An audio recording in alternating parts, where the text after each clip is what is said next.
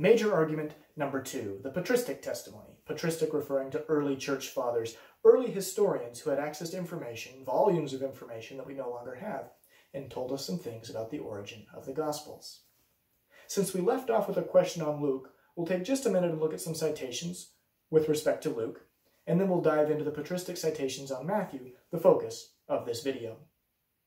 The Muratorian fragment, though incomplete, strongly infers that Luke was not the first gospel written, and this is information that probably dates from the second century.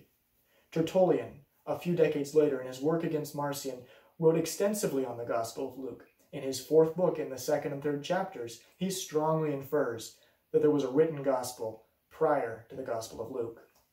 And the preface of the Gospel of Luke itself, in the first four verses, we're told that this is not the first time somebody has tried to put this material down in writing. So right after that, we've got a lot of material suggesting that Luke is probably not first. But what does the patristic testimony tell us about Matthew? Let's start with Irenaeus of Lyon, an extremely important second century source who's just one link removed from apostolic testimony. Irenaeus was a disciple of Polycarp, who was a disciple of John the Apostle. Irenaeus is our earliest source for a whole laundry list of facts about Christian history. He was considered very important by subsequent historians, and his work was referenced as authoritative for centuries in doctrinal disputes. Irenaeus does not tell us explicitly which gospel was written first, although he does tell us that John was written last. However, Irenaeus does drop a number of hints that Matthew was first. In fact, throughout his work he will frequently cite all four gospels in making a point. And except where he's citing a source and using the order of material from that source, he always puts Matthew first. He's clear that John is last. Mark and Luke will swap places between second and third, suggesting that Irenaeus may not know whether Mark or Luke was second, but he's quite a bit more confident in putting Matthew first. This suggests that at this early date, Matthew was thought of as the primary source. Next, let's turn to Clement of Alexandria. We referenced him briefly in our discussion earlier of the two gospel hypothesis.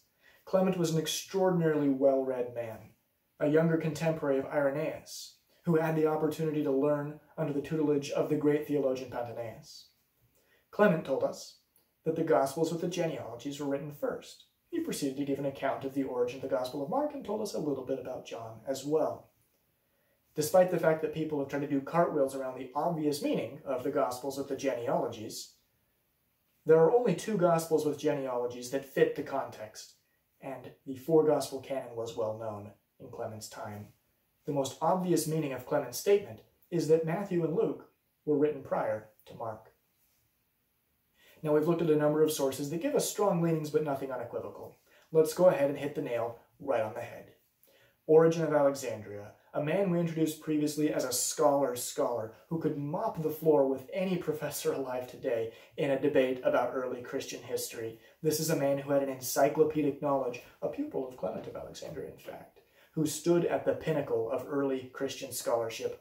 Origen is unambiguous Matthew was written first. No equivocation.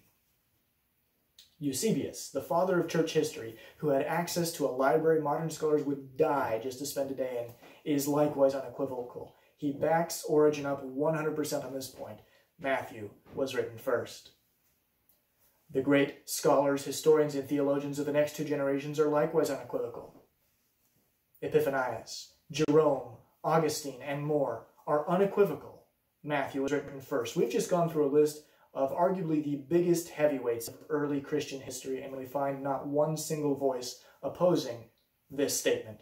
Matthew's gospel was written first. This is incredible multiple attestation. And we can't just blame it all on Papias and say, oh, well, they misunderstood what he said. We do not have a scrap of evidence from Papias, not even an allusion to Papias, suggesting that this information came from him. If this were anything but poor, tortured New Testament studies, this would be case closed. Matthew was written first. We have incredible, widespread multiple attestation and incredible geographic dispersion of that evidence as well. We've got the empire covered north, south, east, and west, all the way from the Holy Land in one corner to Gaul up near the other, multiple cities in North Africa, Rome, Salamis, and more. Heavyweight scholars who rarely agreed altogether on anything all support this claim that Matthew was written first.